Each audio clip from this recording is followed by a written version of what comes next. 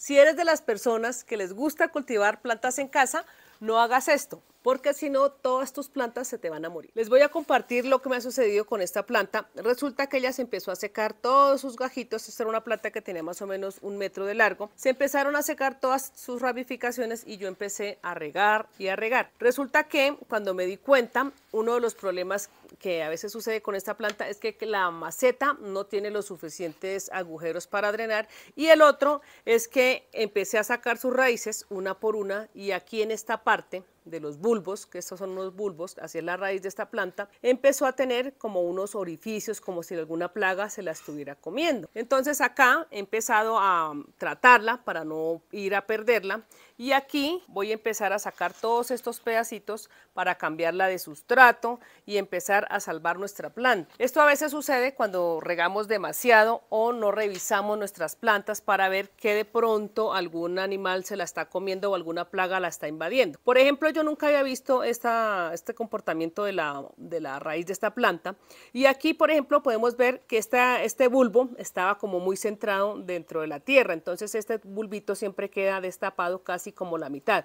Y aquí estaba muy enterrado y al pasar de los días eh, se empezó a llenar de alguna plaga que se la estaba comiendo y también es importante explicarles esto. Acá, por ejemplo, si ustedes quieren salvar la especie, yo voy a hacer lo siguiente. Acá me ha funcionado. Entonces, ¿qué hago? Voy a tratar de sacar todos los que estén en buenas condiciones. Por ejemplo, esta raíz ya no nos sirve, ya se comieron más de la mitad. Acá, por ejemplo, vamos a cortar todos estos bulbitos. Digamos, esta parte está buena, la cortamos así. Podemos colocar una cadena de corazoncitos de esta manera. Y a esta parte de abajo, donde se la ha comido esta plaga, simplemente la voy a limpiar de esta manera todos los agujeritos. Estos bulbos cicatrizan, es una planta que se da muy bien, es muy agradecida, simplemente le quitamos todo esto. Si ustedes, por ejemplo, les ha pasado esto, pueden hacer esta parte eh, que es importante. ¿Por qué? Porque esta plaga puede seguir, no importa que se le quite un pedacito más. De esta manera, a todos los bulbitos le vamos a hacer lo mismo hasta que esta ya no se ve. O también hay que sacrificar a veces algunos pedacitos. Esta planta no le pasa absolutamente nada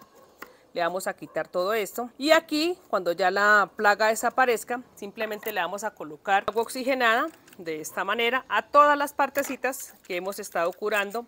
De esta manera la podemos dejar de un día para otro y luego sí la vamos a sembrar. Después de que hayan pasado un día para otro o dos días, esta planta es muy resistente, vamos a empezar a plantar nuestros bulbos en una maceta que tenga suficientes agujeros, así como esta y no tan profunda, ya que esta es una planta que crece casi superficial, ya es una planta de porte rastrero. Entonces, ¿qué vamos a colocarle? Vamos a colocarle un sustrato que nos drene, que tenga carbón, que tenga compost, abono, el que ustedes tengan en casa. Es una planta muy agradecida, pega bastante fácil, no la tenemos que estar, digamos, esclavos de ella. Es una planta muy agradecida. ¿Y qué vamos a hacer con ella? Miren, yo les comparto que esta planta solamente sembrándola de esta manera, ella empieza a, a, crecer y estas ramificaciones empiezan a caer. Ahora, si ustedes, por ejemplo, tienen estas ramificaciones buenas, las pueden colocar encima, pero como estas están invadidas por esta cochinilla, que esta cochinilla que se la empezó a comer, entonces simplemente vamos a sembrar estos tres bulbitos. Cuando ya hayan pasado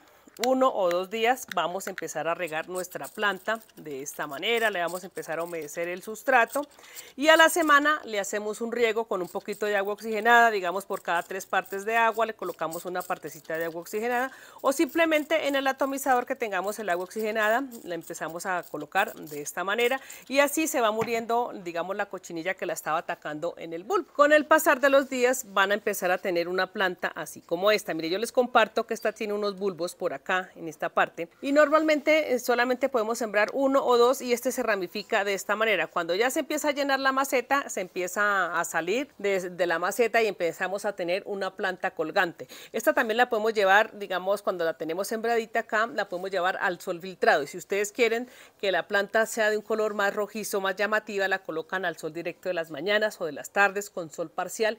Y esta planta se va a ver muy bonita en el lugar que ustedes la pongan digamos en una esquina. Va a unas tonalidades muy hermosas, las cuales van a empezar a estar muy bonitas. O si ustedes quieren tenerla de color así, azul grisáceo, también la pueden dejar en más semisombra y así va a crecer de una manera bastante hermosa.